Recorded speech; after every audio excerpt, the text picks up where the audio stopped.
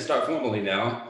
And uh, the goal of today's lecture is to cover the existence of coarse moduli spaces. This was this is sort of the second lecture of this two-part sequence on the geometry of Deligne-Mumford stacks, where to remind you, last time uh, we did two things concerning the geometry of Deligne-Mumford stacks. We discussed quasi-coherent sheaves on Deligne-Mumford stacks, and then we also covered the local structure theorem of, of Deligne-Mumford stacks. And then we're gonna put these, we're gonna use this uh, today with the goal of establishing what's known as the Keel-Mori theorem, which I have up here, that any separated Deligne-Mumford stack admits a coarse moduli space where uh, X is a separated algebraic space. So um, we need to define what, what this means, and we'll do that today. And we'll also, we'll, we'll prove the theorem.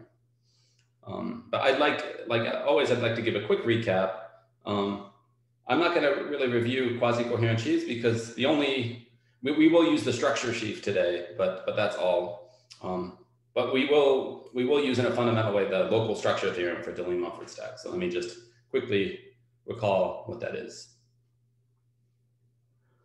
Uh, this was the theorem that we established last time that if you have a separated Deligne-Mumford stack uh, and a geometric point, so a point defined over an algebraic, algebraically closed field K, uh, and then, uh, then there's a, a, morphism that's affine and étale uh, from a quotient stack of, of a quotient stack of the action of the stabilizer group scheme on an affine scheme. And it's, it's affine and étale, and moreover, it induces an isomorphism of stabilizer groups at, uh, at the given preimage y, w, sorry, w of x. Right, and so um, yeah, this this is right. That's about all I'll, say for for for review. Uh, we'll use this theorem later, but I, I just I want to get to the core content on coarse moduli spaces, and I think I should begin with a definition.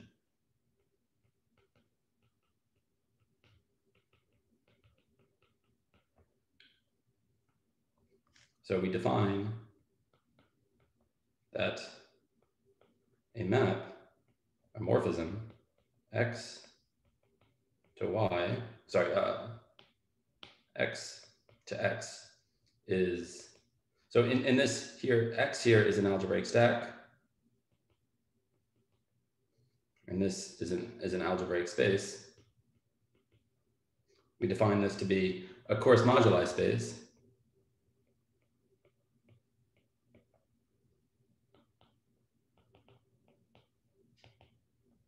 Which we'll ab abbreviate by CMS, if, well, the following two, con two conditions hold. First is that you need for all geometric points, so for all algebraically closed field, you need that the natural map that if I take the k value points of the stack, this is a groupoid, and so I could take the underlying set of equivalence uh, classes of objects. Uh, and then I, I that maps to the k points of the algebraic space and I want this to be bijective.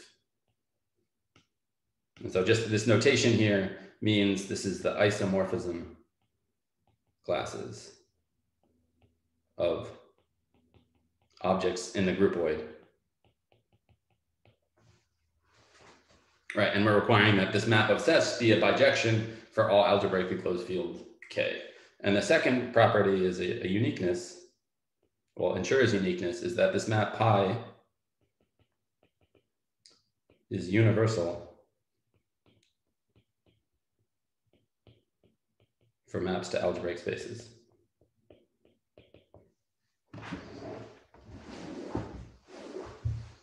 Uh, right, and maybe uh, let me just spell out exactly what that means. That is, in other words, if you, here I have my morphism pi to x, and if I have any other morphism y, where this is a also an algebraic space, then there's a unique map.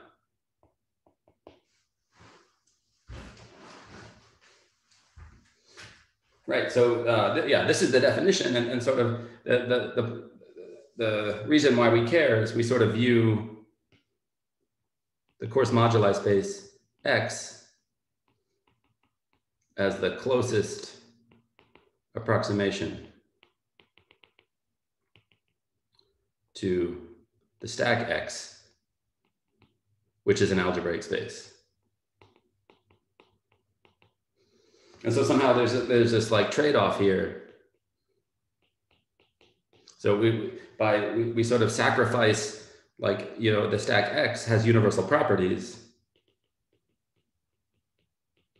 Like for, for instance, you know, there exists a, a universal family. Uh, you know, for instance, if X is the moduli space of is, MG the moduli stack of, of smooth curves, you you, the, you have a universal family. But uh, we, we sort of want to we trade this off to get an object X, which is more familiar. Well, it's an algebraic space, and ideally, X is a is is projective. And so the, the, the end goal is, is, to, is to show that your coarse moduli space is is is well is projective at least in the context of MG bar, and uh, the, having having a coarse moduli space which, which is an algebraic space is the first step. Uh, right, and well, and, and the reason, yeah, I mean, maybe you ask, it's a fair question. I think it's already come up. Why, why would, why do we even care? I mean, if the stack sometimes most uh, most questions often are, are, best answered on the stack itself because yeah, but uh, uh, but the the point here is we associate a more familiar object like hopefully that's, that's projective and then we have more tools because we have a, a whole toolkit of, of, projective geometry at our disposal. And you can then study you know the projective variety x and then infer properties about the stack if you want. Anyway that's our goal. And uh, the strategy is actually very clear how we're going to prove this so our strategy to show the existence of a coarse moduli space.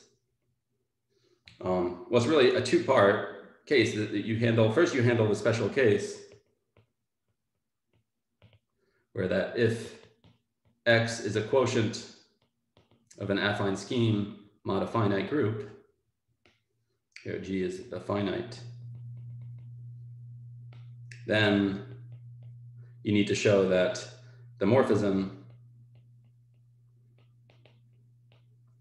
to the spectrum of the invariants is, uh, is a coarse moduli space. And we, yeah, we, we, will do this. We'll take, take, take, uh, yeah, that's one of fundamental results from today. And then the second part is then, is then to reduce to the special case. So you, then you use the local structure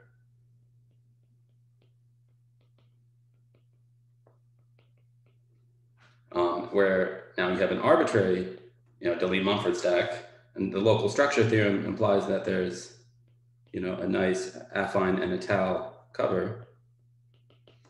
And this one, by the special case, has a coarse moduli space. And then the goal is to sort of glue these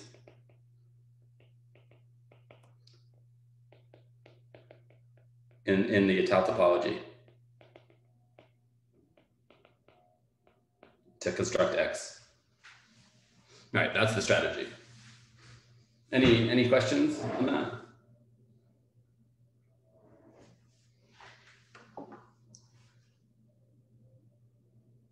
Yes. So why isn't it uh, a scheme? Sorry? So, I mean, uh, so for the special case, uh, uh the coarse moduli space is a scheme, right? Yeah, in the special case, it's even an affine scheme and then we glue it together using uh, étale topology. Why don't we get uh, a scheme? Oh, because we're, we're, we're going to glue under an étale equivalence relation.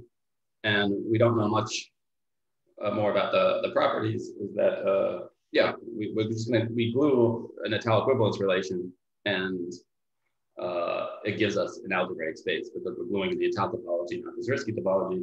And moreover, maybe I, I, should point out that in this definition, you know, note that property two uh, implies that the coarse moduli space is, space is unique. And in the special case where you start with an algebraic stack that is an algebraic space, the coarse moduli space is an isomorphism. So in general, like you can't hope for better. In, in, general, yeah, an algebraic space is the best you can hope for to have such a general result. Right, that's a good question. Okay, so moving on, and let me, uh, so we have this, I, I recalled on the top, the definition of a coarse moduli space. These, just these two properties, um, but in practice, these conditions alone are actually not, uh, not always uh, sufficient for your, yeah, for your purposes. Um, in practice, we would, we desire stronger properties.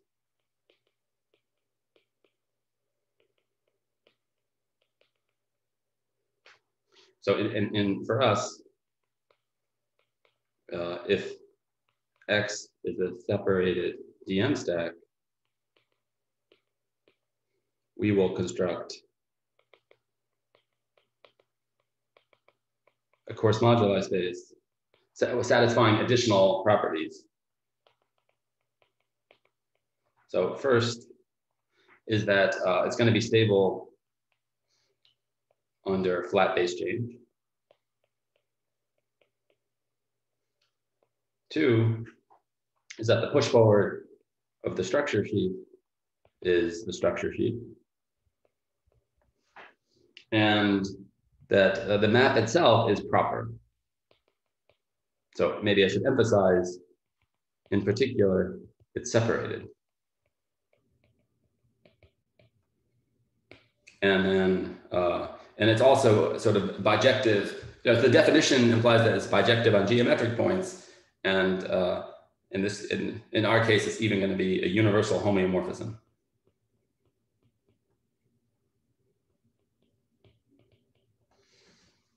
Wait, what that means is like, for instance, that implies that the induced map on the topological space maps bijectively to the topological space of the algebraic space.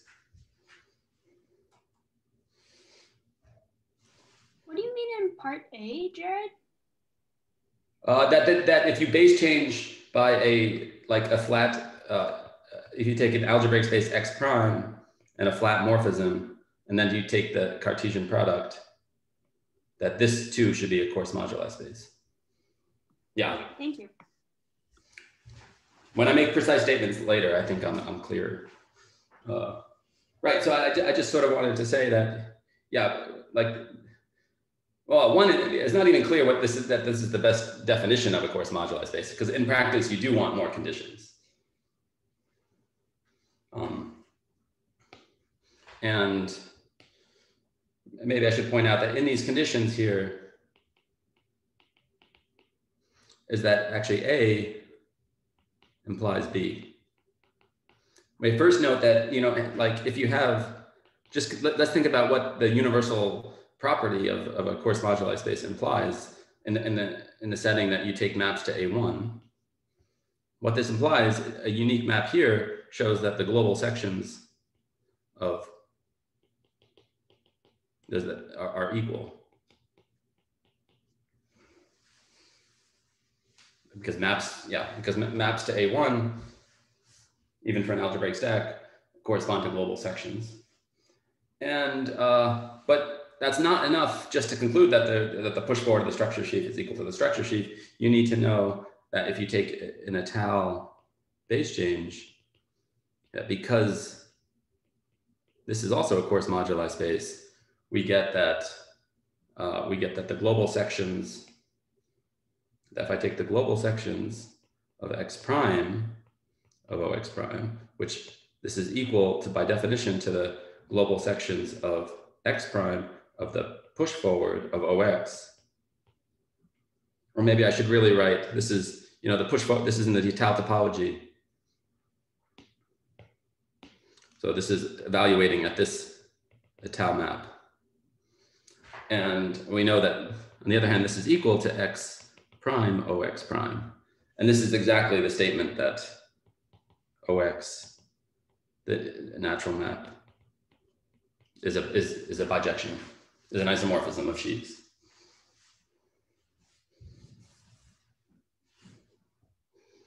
And, um, and another useful property that will show, show up repeatedly is that you can construct coarse moduli spaces by descent, or you can check that, the, that both of these defining properties of a coarse moduli space hold after étale or even flat base change. So uh, let's let this just be a, morphism. Here, again, this is an algebraic stack and an algebraic space. And if, suppose we have uh, an Étale cover,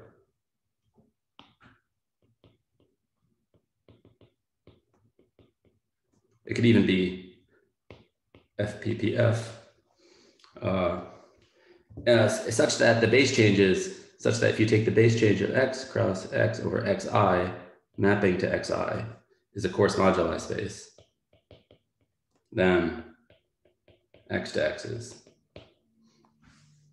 And the reason this holds is just descent. Uh, yeah, the first property is just a condition on like geometric fibers. So that, that, that holds after Étale, that can be checked on Étale base change. And uh, the second property as well, you need to use a Étale descent for morphisms. If you haven't, yeah. Um, but I'll leave the details to you, right? But we'll, we'll, we'll use this. Any, any questions on, on these first properties?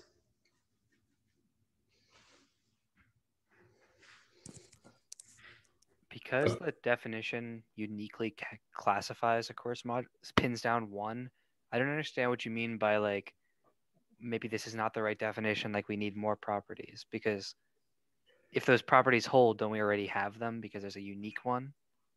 Oh it, it, it, if you start with a separated Deligne Mumford stack and and you have a coarse moduli space then it will satisfy all these other properties.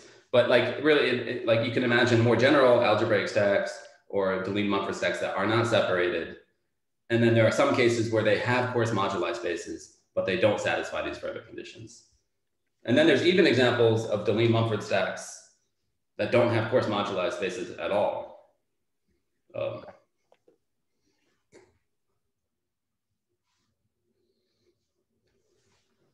so is uh, MG separated? Is what separated? MG the stack MG. And, and oh right, MG is separated. That's something that right. This is a, a good uh, a good point. Um, well, okay, I don't have maybe let me return to MG later. Well, okay, no, you asked. It, it, like uh, we actually have enough now to show that MG is separated. Uh, so the the Keel-Mori theorem will apply to MG once we show that, and so this will be our, our ticket to to show the existence of a coarse moduli space for MG and MG bar. But we do need to, but I'm sort of hope, putting off the separatedness until we discuss stable reduction because the ideas are, are similar. Okay. Are there situations where where Artin stacks or, or algebraic stacks have uh, uh, coarse or uh, coarse moduli spaces? Yeah, that's a good question.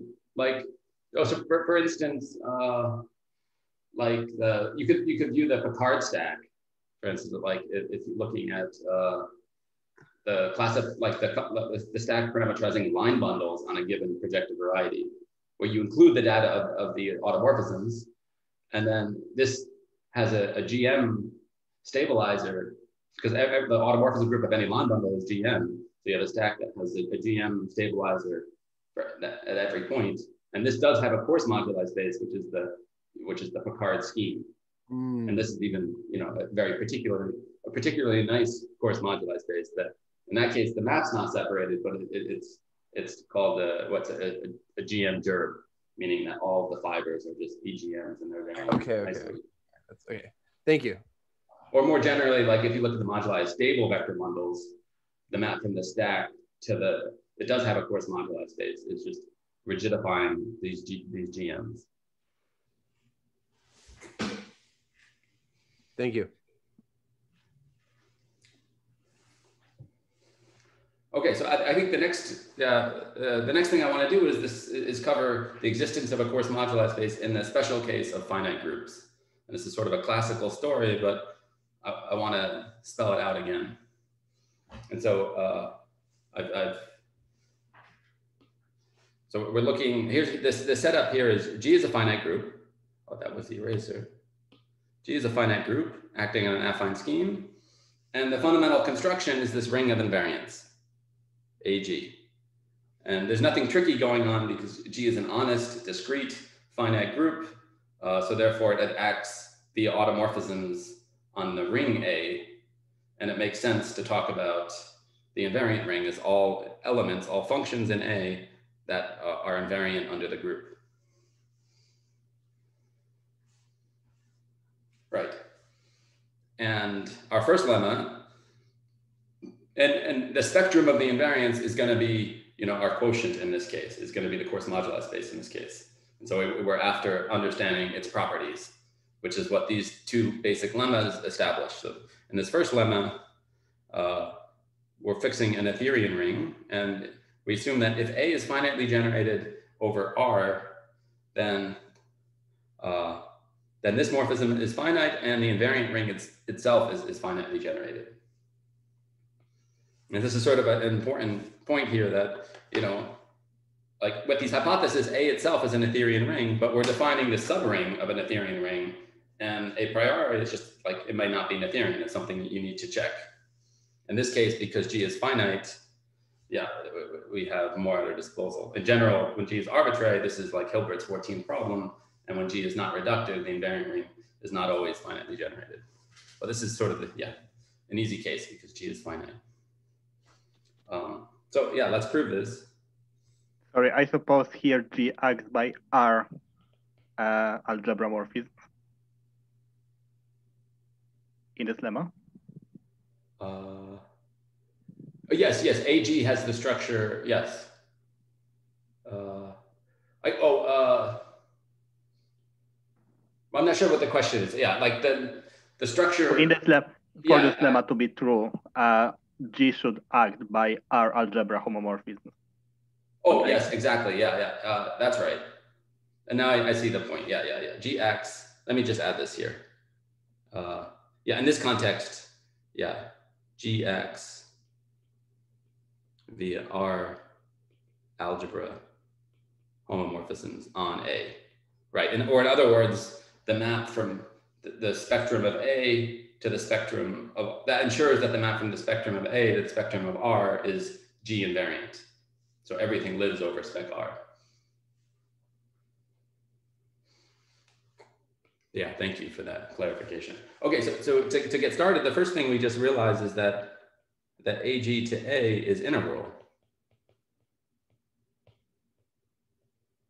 And because if you take an element of A, then you can just find a monic polynomial. I just take the product over all group elements of X minus GA. And then because I'm taking the product over all elements, all these coefficients are actually going to be invariant. So this is a monic polynomial uh, with A as a root.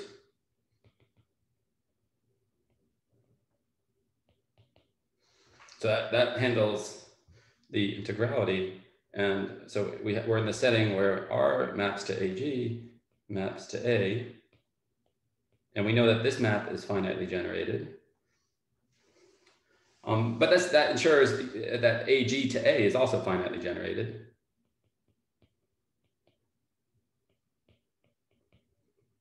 I mean, A is a finitely generated algebra over its invariance. And because it's also integral, that implies that this map is actually finite. So this map is finite homomorphism of rings. And now we just use some commutative algebra. This is in Atiyah Macdonald, that because R is Noetherian, uh, any subalgebra of a finitely generated one, such that exactly with these hypotheses, such, such that A is finite over it, um, it is, is then plus AG is finitely generated as an R algebra.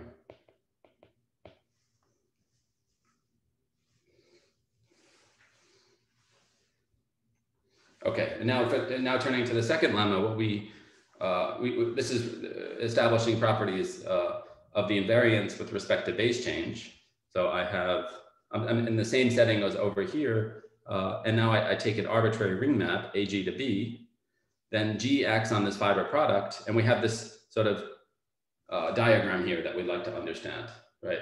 Uh, this is just the, this, this, dot- this square is Cartesian by definition. This map here is G equivariant. This map is G invariant. This map is G invariant. And, uh, and so there's two, two properties that we'll use. First is that if this map is flat, then, uh, then B coincides with the invariance of the fiber product. And in general, it's, it's not always an isomorphism, but it's, this morphism is at least an integral universal homeomorphism. And, uh, but yeah, and these properties actually aren't, aren't hard. I mean, I'll do the first one. Uh, we just, we just realized that the invariant rings, you know, sits as the equalizer of this diagram. Where these map, where one map is, yeah, sort of the, the, the diagonal inclusion, and the other map is, is given by multiplying by the by, by elements of G. And then because tensoring is exact, oh, nope, I got that wrong. That implies that B sits inside A tensor AG B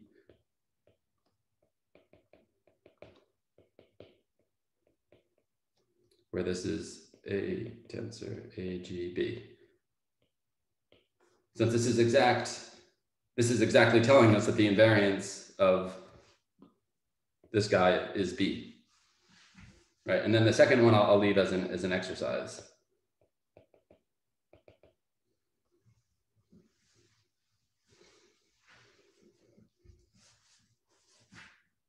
Okay, any questions on these, on these lemmas?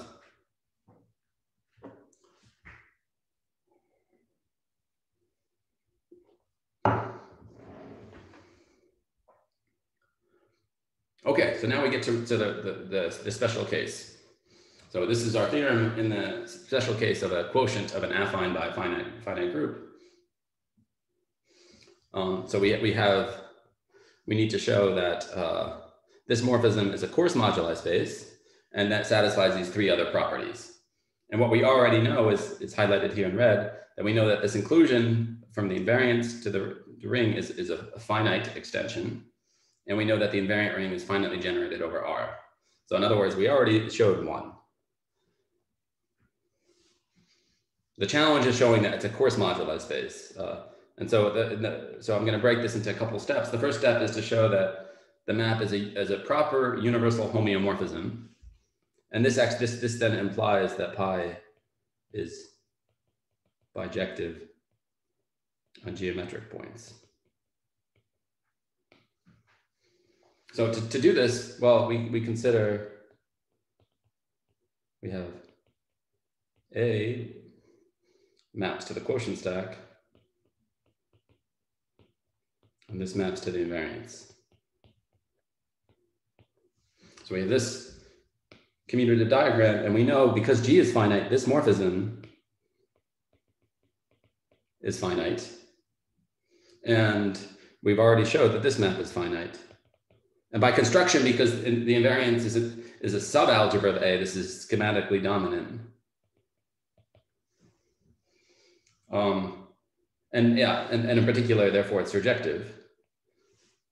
And so because it's surjective, you can then infer that this map is, is proper.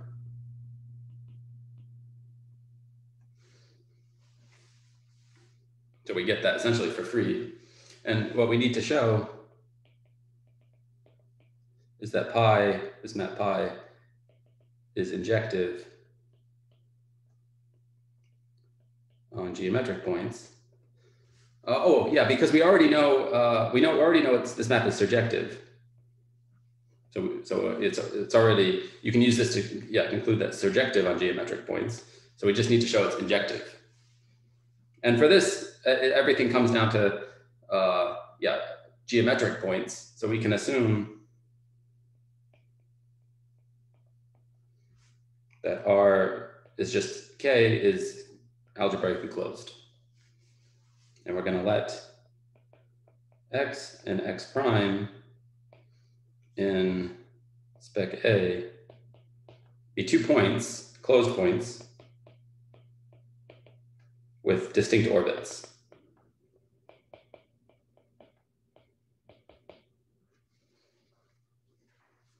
Right, but because the orbits are distinct, you know, there's they they don't intersect at all. They empty inter, intersection, and these are two. The orbits are just are, are subvarieties of spec A, and and you can always whenever you have two disjoint closed subschemes of an affine scheme, you can always find a function that is zero on one and constant on the other.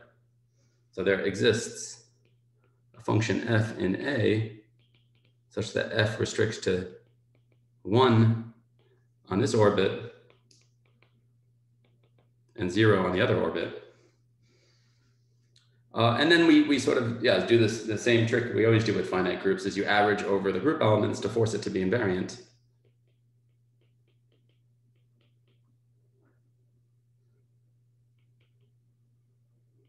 So then this is an invariant property, invariant polynomial with the same property.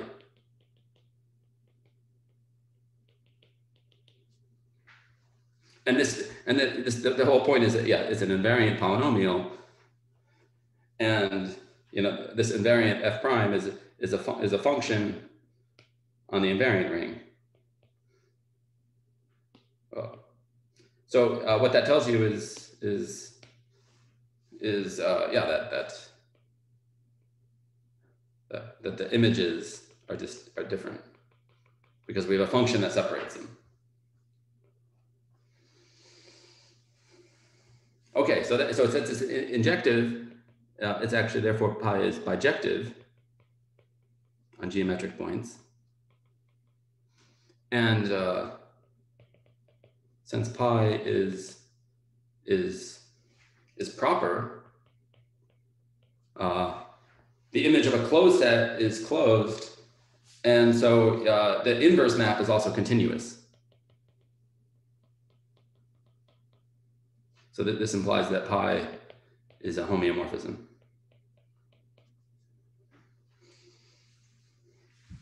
And then, uh, but we need to show it's a universal homeomorphism. And so you, we, we now need to use these base change properties. So if you take an extension like this, let's just go back to see what we had written over here. We had sort of this nice uh, diagram. That if I just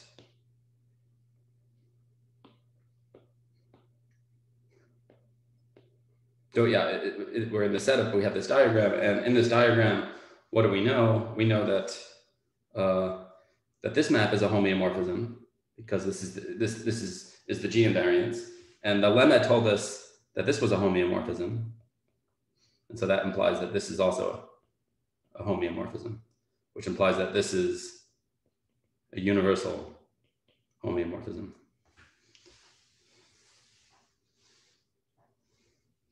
Right, so that was, uh, so then we now know that handles part two, Right. Any questions before I move on to the next part of the proof? Yes, but how how do you know that uh, pi is uh, bijective? I mean, it is surjective uh, at uh, on geometric points, right? Yeah, it's uh, we, I showed it's injective on geometric points, and I think that maybe the point was that this map from spec A to spec AG we know it's both finite and dominant, so that map's surjective. Uh, and that allowed us to conclude that this map was surjective. And therefore that it's, it's surjective on geometric points. Of course. Sorry. Thank you. Uh, no problem. Uh, okay. So yeah, so moving on. So like, okay, so we- we've done now step one and step two, and we've established one, one of the two defining properties of a coarse moduli space. Uh, we now are after the other defining property, namely that this map is universal, satisfies this universal property. This is, yeah, maybe the harder part of the argument, but. Um, and maybe, maybe before getting to this, I should just remark that, yeah, if y is affine,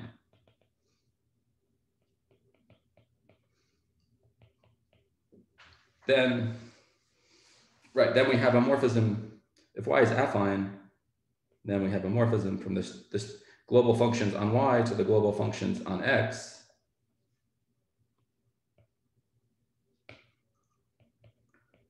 But this is identified with the global functions of, of the algebraic space x.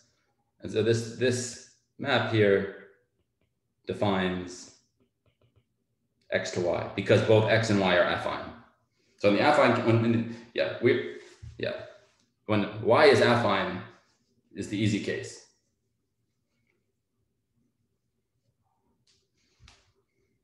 So we need to argue, yeah, uh, two, let's see.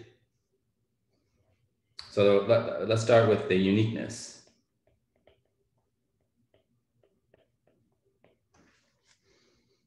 So let's suppose, uh,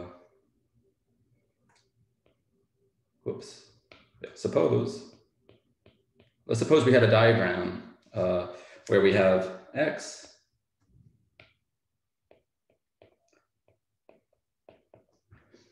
and we have y.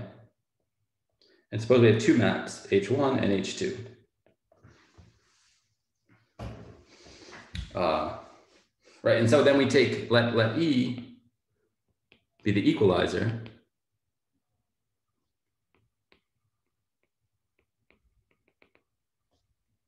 of these two maps. So precisely it's it's it's given by this fiber product over the diagonal of y.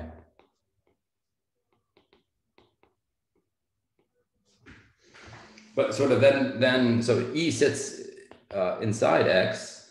Uh, it's and we know it's a monomorphism. And and sort of by definition of, of the equalizer, we know that this factors.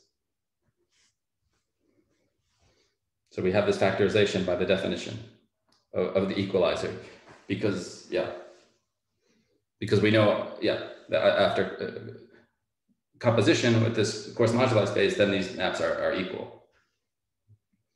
Right, and we know because Y is an algebraic space, the diagonal is both a monomorphism and locally a finite type. So that implies the same thing for the equalizer. Okay, so what the, our, our upshot is that, okay, what do we know? Oh, we know that, yeah, that, that the goal is to show that E is equal to X, that the map from E to X is an isomorphism. And we know it's a monomorphism and locally a finite type. But this map uh, to X is, we know it, it's proper and schematically dominant. Uh, and therefore we know the same thing about the map from E to X. It's also proper and schematically dominant. So we have a, so, so wrapping up all of the properties, so E to X is, uh, so I guess the upshot it's a monomorphism. It's locally finite type. It's proper, and it's schematically dominant, meaning that the inclusion of uh, the inclusion from the structure sheaf to the push forward of the other structure sheaf is injective. And if you think about these conditions, that just these three, these three, the first three imply that it's a closed immersion. This isn't, yeah, this is just a standard fact that's not very, I think, not very hard to show. And but now because it's schematically dominant, that implies that it's actually an isomorphism. So we win.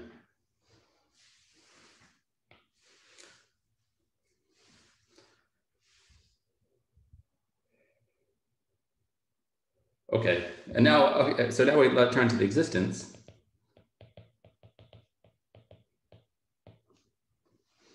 Uh, so the,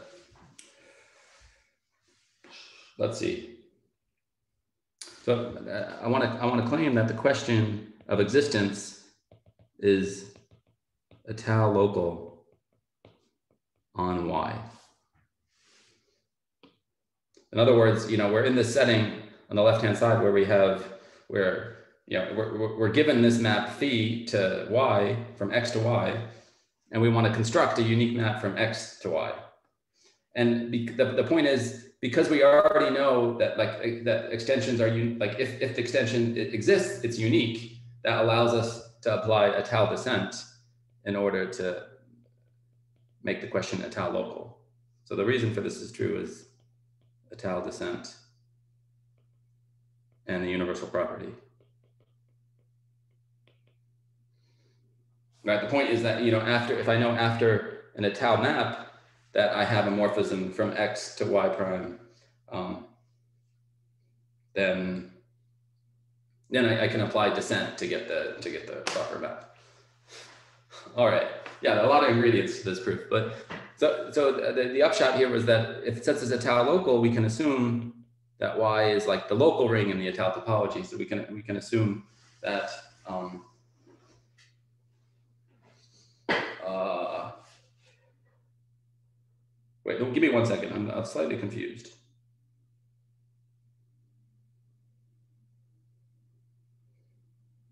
Yeah, something. Oh, actually, yeah. Oh, sorry. Yeah, it's, sorry. I don't want to show that it's étale local on Y. It's étale local on X. Yeah, that that was confusing. The point, let me, let me, yeah, because that's, the, the point was if you have an, an étale cover of, of X and you have these morphisms, then you know on the double base change by the uniqueness that the compositions agree, which then gives you by étale descent the map from X to Y. So étale local on X, that's what we're using, and that's what we're gonna use. And so that means that because it's étale local, we can assume that X, which is the spectrum of the invariant ring, is Henselian, even strictly Henselian.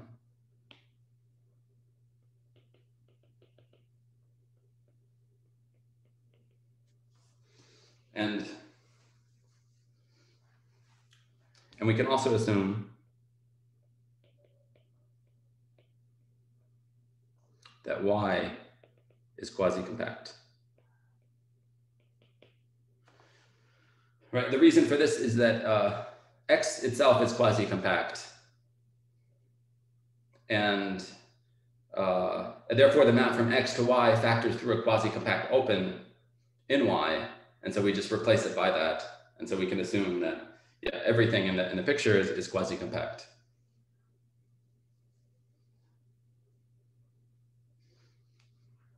And so maybe I should move on to this, oh, this page here.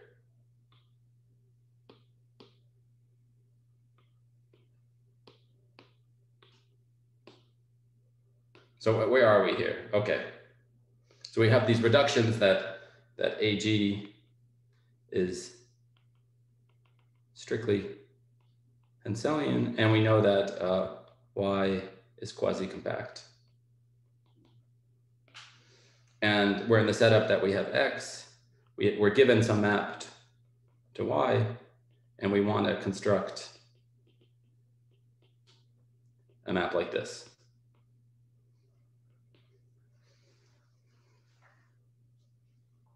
And since Y is quasi-compact, we can choose we, we, we, can choose Y prime affine we, in an étale presentation.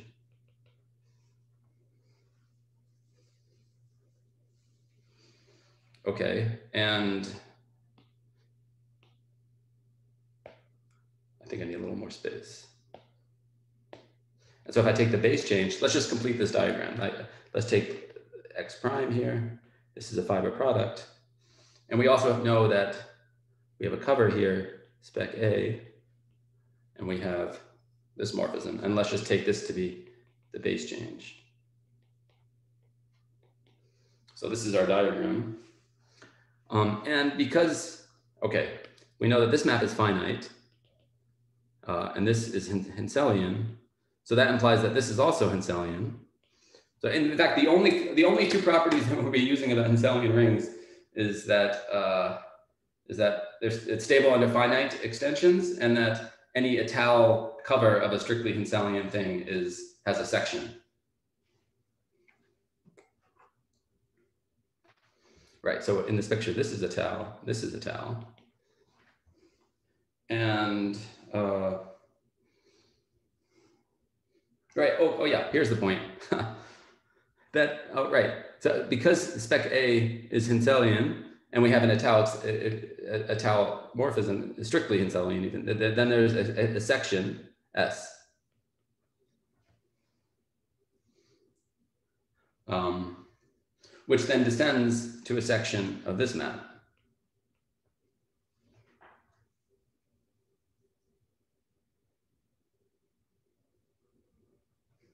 And now, okay, where are we? Uh, y, y prime is affine. What do we know here? Uh,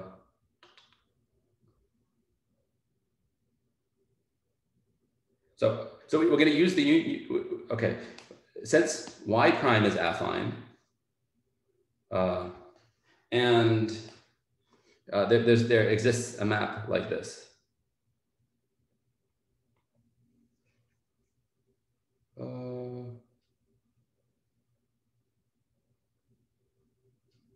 Sorry, I'm getting confused here. This is not as tricky as I'm making it seem. Um,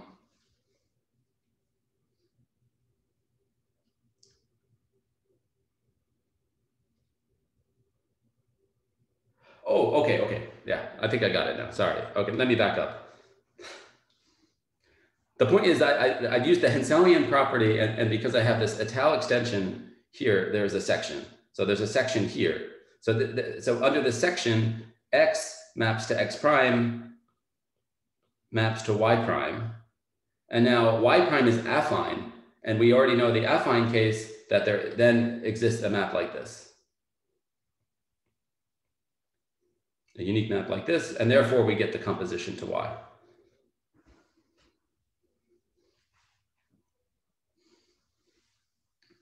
All right, that, that wraps up the proof.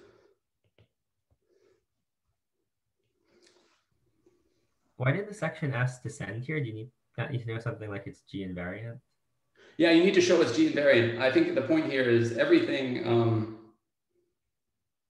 yeah, I think you need to. Uh, yeah, I'm going to use a similar argument later. I mean, it's an extension over of, of an étale representable map. So the section itself is an open immersion. Um, and, and in fact, if y prime to y is separated, uh, then the section is also a closed immersion. So you can think about this as just a component of the other one. So you get sort of the G invariance uh, for free, if I'm not mistaken.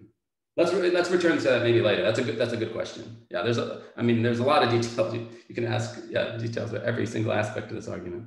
Um, yeah, let's return to that. Okay.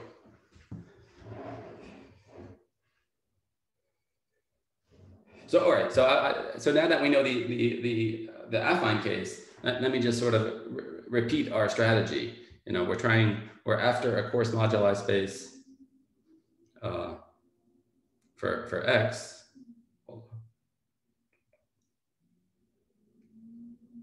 I think I need, uh, yeah,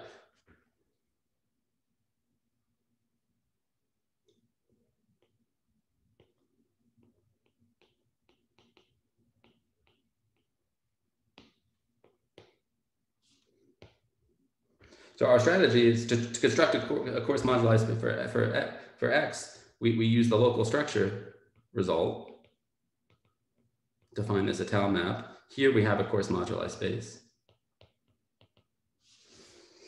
And the way we, were, let's call this W. And, uh, and so the natural thing to do is to sort of consider this base change here, W over W, W, yeah, and because this map is also affine, this itself is, is going to be spec spectrum, like a, a, an affine scheme mod the stabilizer. So here you also have a coarse moduli space. And we have two maps. And these, these are given by, yeah, by the universal property of coarse moduli spaces. And what we need to know is that this is an étale equivalence relation. Because once you do that, you, you will, we can then take the quotient as an algebraic space and argue that that's the coarse moduli space for the stack X. And so this, the central question here is, so if we have an affine morphism, morphism of affine schemes that's G equivariant uh, and étale, when is the quotient map étale?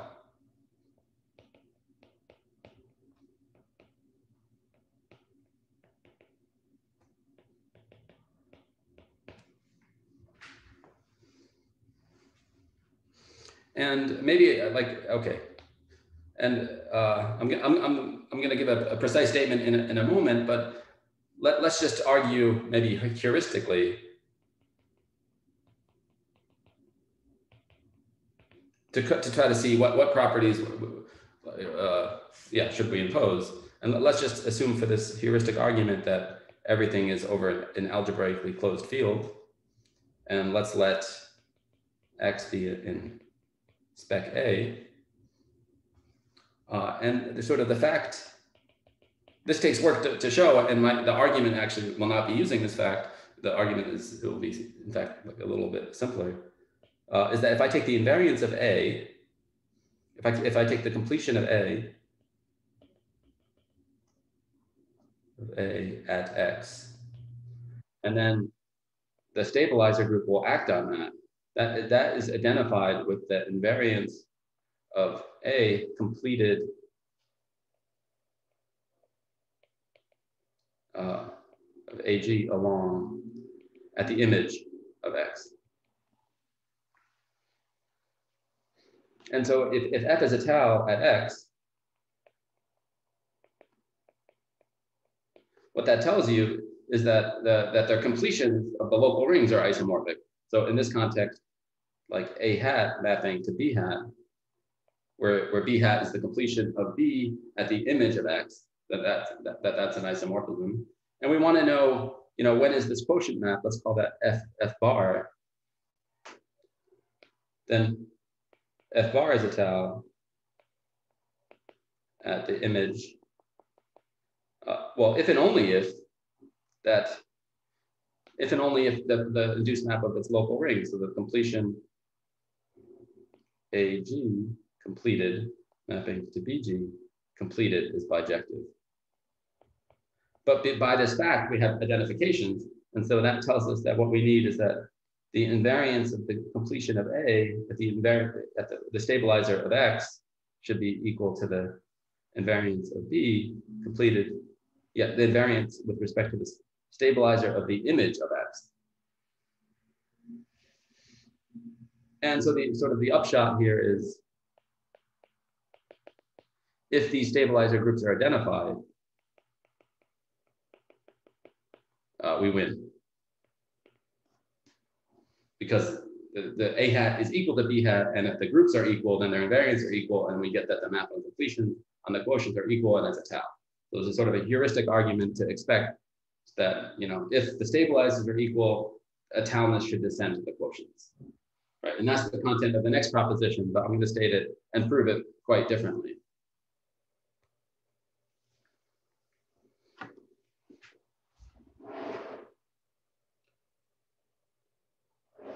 Right, so the statement here is, uh, okay, is exactly sort of in this setup that we have a finite group, we have a G equivariant map, uh, and we have these two key assumptions yeah, here, that the map is étale and it induces an isomorphism that stabilizers, then the statement, because this is of a, of a local nature, then the statement is that uh, that there's a that after shrinking spec AG, there's an open sub subscheme W, even affine, such that the induced map from W is, is étale, and uh, the, the outer square here is Cartesian. And in fact, in, in the context that we're going to use it, is in fact, we have more properties. So the, the maybe let me just, yeah, is, is that if in addition, these two properties hold at all closed points, then that we get globally that the map on quotients is étale.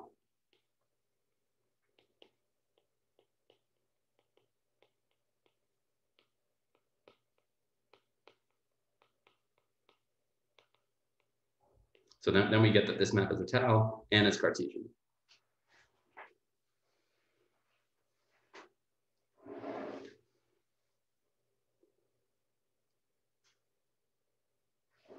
Okay, so let, let me let me sketch this proof because the yeah the, the proof is, is, going to be similar to, to the other one.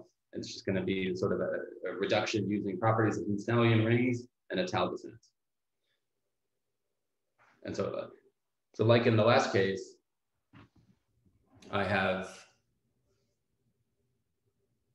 uh, yeah, I want to argue that the question is étale local around uh, the image of, of y. So he, here maybe we have uh, our points x mapping to y. And uh, the question is étale local. Um, maybe since I'm taking longer than I thought, maybe I'll skip that that that, that step. But the, the, it, it is étale local, and what that tells us is that BG, we can assume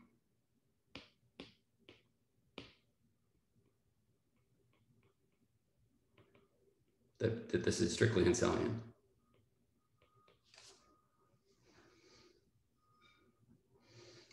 Uh, right. And so right, we're in the context, let, let me use, use this diagram again.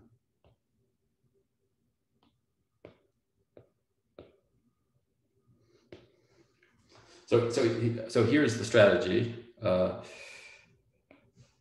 so we, we know, we, we could, we're assuming now that this is strictly Henselian.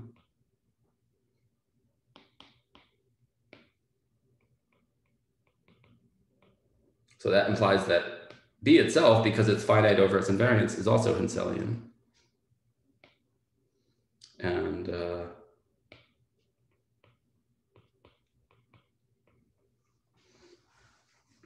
and then because this is a similar argument before, we're assuming that this map is étale. And because B is Henselian, you have a section. And then you argue that if this section is G invariant, in this case, I think it's even easier than the last case because this section is an open and closed immersion. Uh, and, and now, well, what are we trying to show? Well, we want to we want to show that we can shrink spec AG Zariski locally so that the, the induced map on quotients is étale and the diagram is Cartesian. But this tells us what we can do because the S is an open and closed immersion. This is an open and closed. So its image, if I just take like the image of S, this is an open and closed substack that's isomorphic to spec B mod G. And then this has tautologically the quotient, which is PG. And this map is not only étale, it's an isomorphism. And so locally, yeah, so we, uh, yeah, we, we handle it.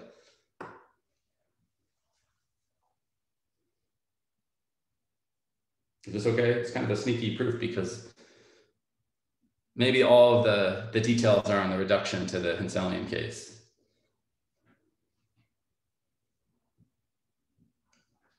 Wait, can you, I'm sorry, that was a little fast. Can you say that one more time? Uh, like, can you like go through I guess like yeah, sure. This diagram one more time. Thanks. Right. Let me yeah. Let me let me try that. So the first step of the argument is is is to assume that uh, that BG that that this that the spectrum of BG is um, is, is strictly Henselian. And in other words, that the question is étale local here. Yeah, this argument, it's not, it's, yeah, it's not that hard. I should, maybe I should point that like the, the, the, fact that it's étale local is not that hard. That's standard descent theory. But then you, you do need to know some properties of strictly Henselian rings. And you need to know that basically the same way that you go from like like in, in, the in the scheme case about properties of the local ring and the Zariski topology to then spreading it out to an, an actual open neighborhood is, is, is of the same flavor here. So you need to know that if it holds for the, if you can argue over the strict Henselian, then you can actually argue over an honest, and you could spread it out, spread it out to an honest étale cover and then use descent. But assuming that we're okay with this reduction that BG is strictly Henselian, then uh, well, then we're sort of in a that yeah, it's sort of in a much easier situation because the uh, because yeah, B is finite over BG, so spec B is Henselian, and I'm given an étale spec A that is étale over spec B, and so and then you and then yeah, it's a, étale cover over a strictly Henselian ring. Therefore, there's a section and then we use this section in order to identify an open and closed substack of spec A mod G that's isomorphic to spec B mod G. And this is the open that we use to shrink in order to ensure that the map on quotients is étale and the diagram is Cartesian.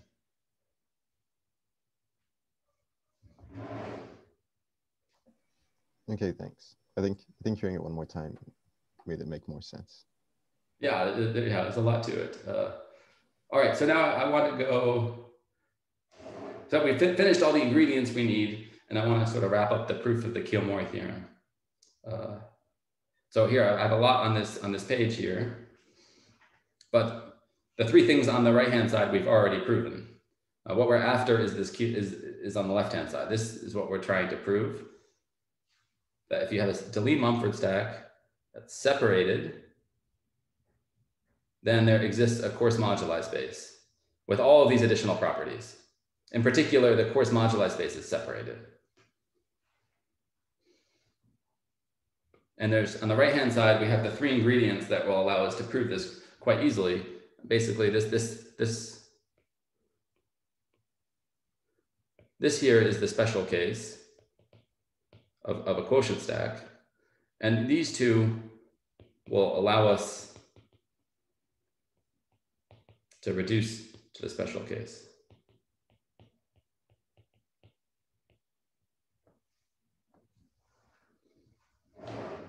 But let me spell that out in, in detail.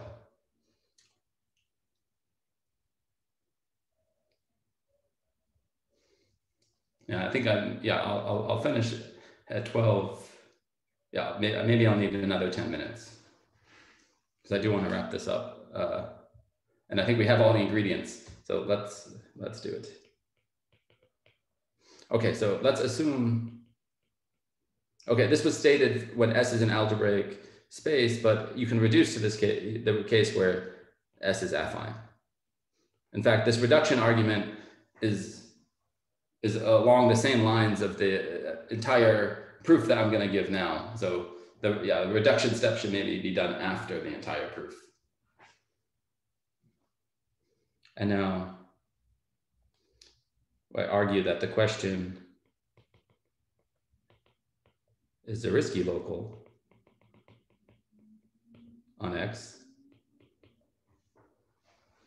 Because if, if I have, if I can cover the stack with open substacks, uh, and I have coarse moduli spaces for each of those opens by the universality of, of, uh, of coarse moduli spaces and the fact that induces an isomorphism on their underlying topologies, I can then glue them to form a global coarse moduli space. And the fact that the, our, our argument is showing that we can not only do it Zariski locally, but étale locally. And so we, it suffices. So what this means, it suffices to show uh, that for a closed point,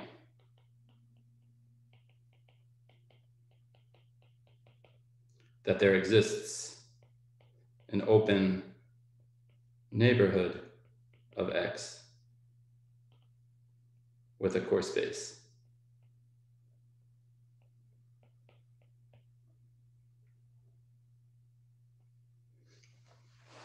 And so let's let, let's let's choose a representative of this point.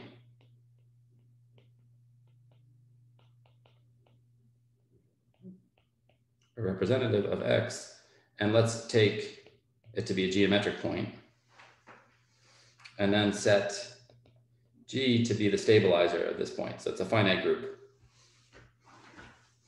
And the local structure theorem gives us this map that's étale affine to x and a point w mapping to x.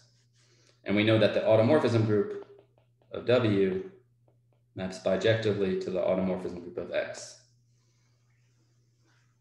And so what the, the, the, heart of this argument is showing, we need to show, let, let's call this condition star. So we need to show that this condition star holds also in a neighborhood of W. Or given that it holds for at a single point that that induces an isomorphism of stabilizer groups, we need, want to know that it actually holds in, a, in an open neighborhood. And this is where the separatedness hypothesis is coming in. Right? This is So x separated. Well, what does that imply? It implies that the diagonal, by definition, is proper. Uh, or in this case, it's because it's Deligne Mumford, it's, it's even, it's, it's finite. And then if we base change by the diagonal again, we get the inertia stack. And so we know this map is finite. And so what we do is we consider sort of the map on relative, sort of the relative inertia map that you have you have the inertia uh, of W over W. And this maps to the pullback of the inertia of X. Right, with this, oh no, I, that's a typo.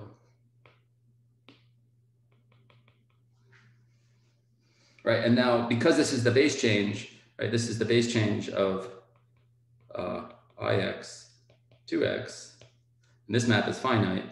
This map is, is finite. Okay. Let me discard this right-hand part now. But it actually turns out, this is sort of an amazing Cartesian diagram. Turns out that, that, this, that if you consider the fiber product here, that this, this square is Cartesian.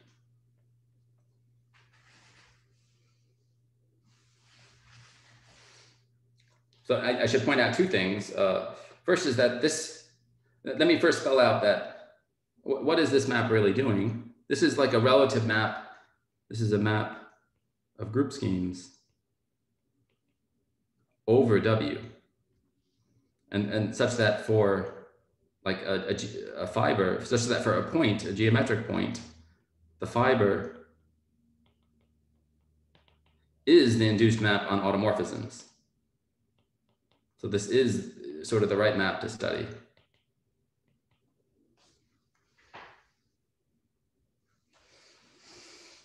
And the second point is that this, this, this is a Cartesian diagram, which will help allow, allow us to identify properties of this morphism of group schemes.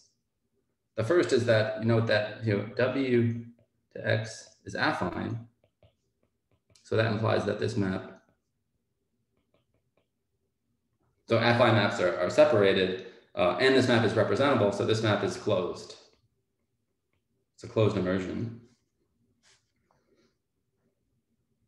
Um, but it's also étal and representable. And this implies that the diagonal is actually an open immersion.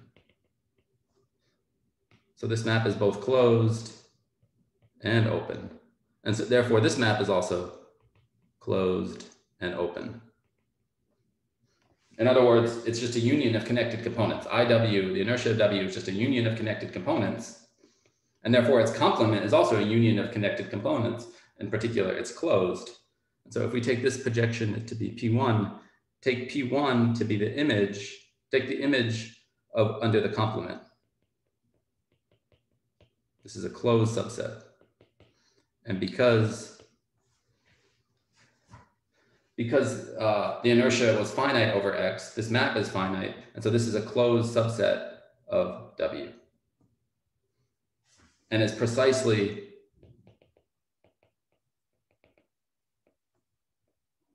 where the map W to X is not stabilizer preserving.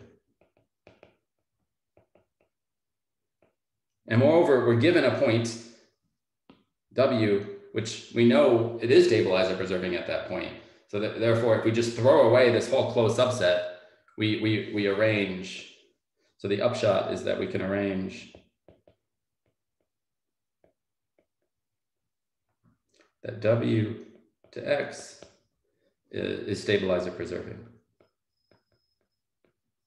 And we can even arrange, because we just need to show uh, there's an open around our, we could even arrange this map is, is surjective.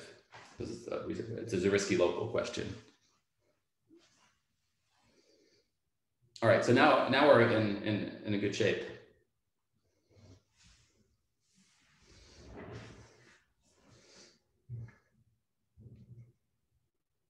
Yeah, and this was really uh, where we used that one key hypothesis where the, that the stack is separated or that the inertia, really that the inertia is finite in order to argue that you can shrink uh, Zariski locally to ensure to, that it's stabilized and preserving everywhere. If you drop the separated condition, this fails and, and this argument fails and the result is not even true. Right, so going back to the proof, now, now what we have is we have our stack. We have W and we have a surjective, étale, affine morphism that's preserving stabilizer groups. And we have a coarse moduli space W, which is spec AG. And I'm gonna now I'm gonna go to the groupoid level where I take this fiber product and as and this has a coarse moduli space. Again, this is this is just an affine mod a group the same group. And so this has a coarse moduli space R, and I have two maps. And now since W to X is stabilizer preserving at all points, so is these two projections from the, from the stack R. Um, and, and it's also, a, a, yeah, étale and affine. So we're in the situation where that lemma told us that the, the two diagrams, the two squares are, are Cartesian. And that these maps, so we get that both of these maps are étale and both squares are, are Cartesian. So the, the upshot was that that this induced map R to, to W this map up is, a, is an étale uh, groupoid of even affine schemes.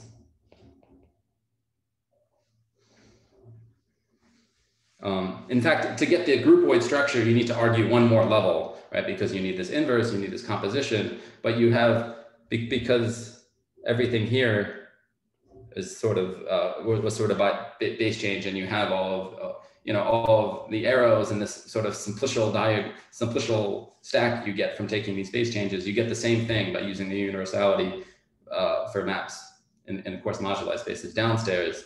That gives you the groupoid structure. And then the only thing you need to check, and I, I won't do this because I'm running out of time, is that the diagonal is a monomorphism.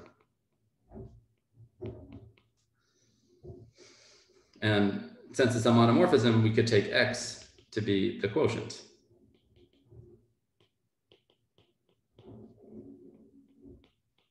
So that gives us x here, and we have a morphism. And then you, you, and then you just finish the proof using étale descent. Descent, descent will give you this morphism, Um, and then descent will also imply that this is Cartesian. And then we, we use the, the fact that uh, coarse moduli spaces can be checked étale locally. So we get that this is a coarse moduli space. And you get uh, all of, yeah, you check all the other properties too using descent.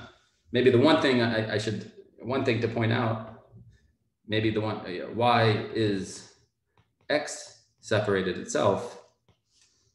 And this just follows from the, the general fact that here you have, we know that this map is proper and we know that the stack itself is separated. So you actually get that this is separated for free.